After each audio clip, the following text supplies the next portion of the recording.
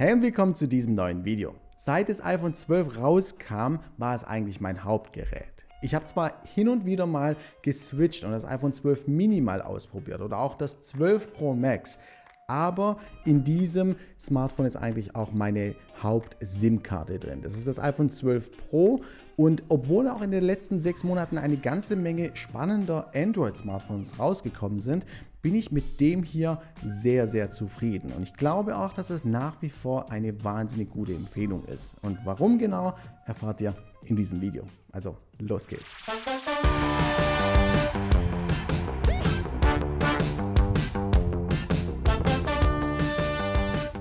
Zunächst einmal möchte ich das einfach mal kurz klarstellen. Das iPhone 12 Pro ist eigentlich keine Empfehlung. Dafür ist es einfach wahnsinnig teuer.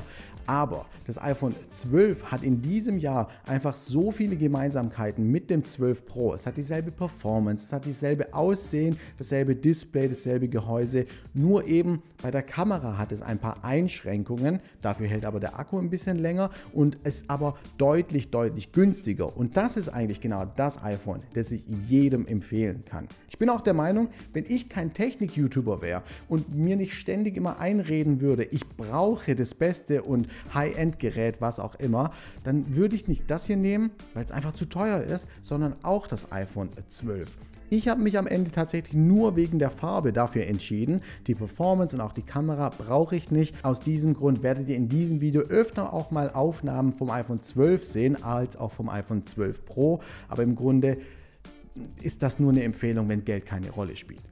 Erstaunlicherweise war auch das iPhone 12 Mini bei den wenigsten irgendwie erfolgreich. Auch das habe ich eigentlich mal benutzt, aber nach einer kurzen Phase wieder weggetauscht. Doch nun, nach sechs Monaten stellen sich auch viele einfach mal die Frage, ob man jetzt ein iPhone 12 kaufen sollte oder vielleicht warten sollte auf ein iPhone 13. Und diese Frage kann ich euch eigentlich relativ einfach beantworten. Wartet nicht. Der Preis für das iPhone 12 ist aktuell so naja, so erschwinglich in Anführungsstrichen, obwohl es noch viel Geld ist, aber dafür bekommt man ein wahnsinnig, wahnsinnig tolles Smartphone, das euch die nächsten Jahre auf jeden Fall ausreichen wird. Hier drin ist Apples schnellster und bester Prozessor drin, genauso wie die beste Kameratechnologie. Aber zum allerersten Mal wird jetzt in einem iPhone-Kauf kein Ladegerät mehr mitgeliefert. Und deshalb habe ich auch im Unboxing-Video damals auch schon ein paar Ladeadapter gezeigt. Und ja, dieses Video ist nicht gesponsert, aber es ist super einfach für mich, weil ich einfach die Geräte sowieso schon länger benutze. Die sollten eigentlich das Video hier sponsern. Naja, aber ich empfehle es euch trotzdem, weil natürlich habe ich mir nicht Apples Original-Ladeadapter gekauft, weil der ist einfach nichts Besonderes.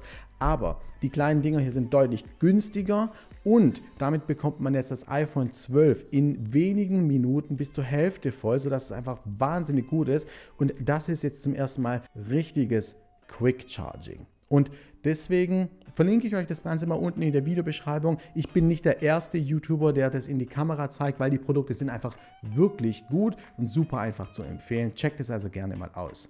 Außerdem möchte ich an der Stelle noch sagen, ich habe in den letzten sechs Monaten tatsächlich immer, immer nur entweder Fast Charging oder Wireless Charging genutzt. Und das sind eigentlich genau diese zwei Dinge, die eigentlich schädlich für den Akku sind.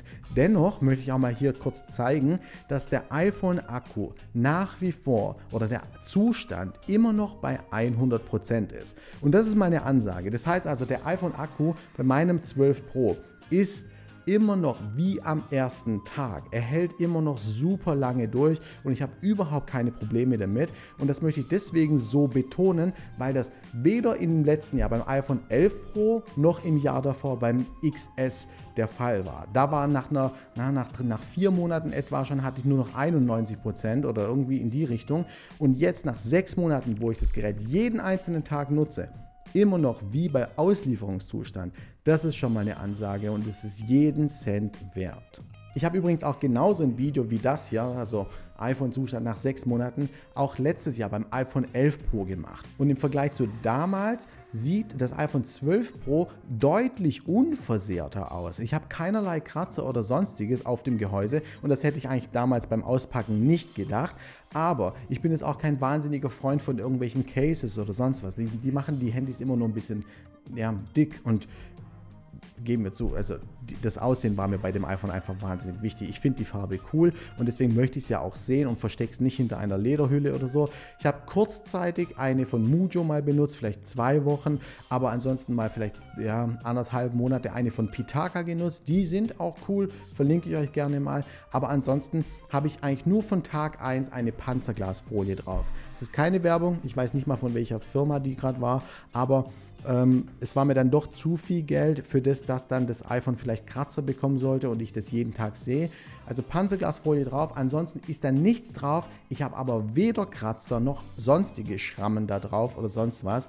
Und das iPhone sieht einfach wahnsinnig, wahnsinnig gut und unversehrt aus, trotz nach sechs Monaten jeden Tag Nutzung. Überrascht war ich übrigens auch von der Kamera. Ich glaube nämlich, dass wir jetzt an einem Punkt angelangt sind, an dem es ohne weitere Hardware-Änderungen gar nicht mehr viel, viel besser werden wird. Ich glaube, der Sprung zu einem iPhone 13 wird entweder nur mit einer krassen Teleobjektiv oder sonstiges nur besser werden, aber ansonsten glaube ich wirklich, dass wir an einem Punkt sind, in dem mir dieses iPhone 12 mit der Kamera definitiv die nächsten drei, vier Jahre wirklich extrem gut bleiben wird. Aktuell, auch nach sechs Monaten, bin ich der Meinung, dass die iPhone 12 Kamera zumindest immer noch in den Top 3 bei allen Smartphone-Kameras ist und bei manchen Disziplinen sogar die allerbeste. Die Farben sind absolut gut, die Schärfe ist absoluter Hammer. Ich kann es euch nur empfehlen, wenn ihr gerne Fotos macht oder hier mal einen Schnappschuss machen möchtet, dann ist es natürlich wahnsinnig empfehlenswert. Die Lowlight-Performance ist besser als in jedem anderen Handy, deswegen kann ich wirklich nicht klagen. Ich glaube, wenn ihr bei einer Frage zwischen dem iPhone 13 oder warten auf das iPhone 13 oder dem aktuellen 12 bei dem jetzigen Preis, schnappt euch das Smartphone, es ist wahnsinnig gut. Das iPhone 12 ist besser als die iPhones davor. Mit dem Release des iPhone 12 kam auch MagSafe endlich heraus. Das einzige, was ich eigentlich wirklich nutze, ist ab und zu mal so eine Hülle, aber ansonsten nur noch diese Halterung. MagSafe hat Vorteile, wobei im Moment solche Zubehörartikel extrem teuer sind, wie ich finde, und es wohl noch ein bisschen dauert, bis es wirklich geile Sachen gibt, die man, ja, die erschwinglich bleiben. Unterm Strich möchte ich einfach jetzt an der Stelle nochmal betonen, ich bin der Meinung, dass dieses iPhone 12 besser als die iPhones in den Vorjahren waren. Das meine ich, ich meine damit zu dem Zeitpunkt, als das iPhone 11 rauskam oder das 11 Pro und so weiter, das hier ist deutlich, deutlich besser. In der Vergangenheit hatte ich immer wieder das Bedürfnis, hin und wieder vielleicht mal auf ein Android-Smartphone zu wechseln, mal gucken, was können die denn so besser. Und das habe ich in diesem Jahr gar nicht. Ich finde auch, dass die Farbe immer noch super frisch und hochwertig aussieht. Die kantige oder das kantige Design war wirklich so, ein, so das i-Tüpfelchen aktuell. Klar würde ich mir wünschen, dass die Notch vielleicht ein bisschen kleiner wird, aber ansonsten ist das iPhone 12 eine absolute Empfehlung. Ich hoffe, das Video hat euch ein bisschen weitergeholfen. Falls ihr das übrigens anders seht, dann schreibt mir gerne mal in die Kommentare, weil das würde mich wirklich interessieren. Aber ich bin ein Fan. Ich hoffe, dass der Preis noch ein bisschen sinken wird. Dann könnte ich auch das iPhone 12 Pro empfehlen. Aber naja, man kann ja nicht alles haben. Das war's von mir. Vielen Dank fürs Zuschauen. Abonniert gerne den Kanal, weil dann sehen wir uns im nächsten Video wieder. Bis dahin. See ya. cause aside from my soul.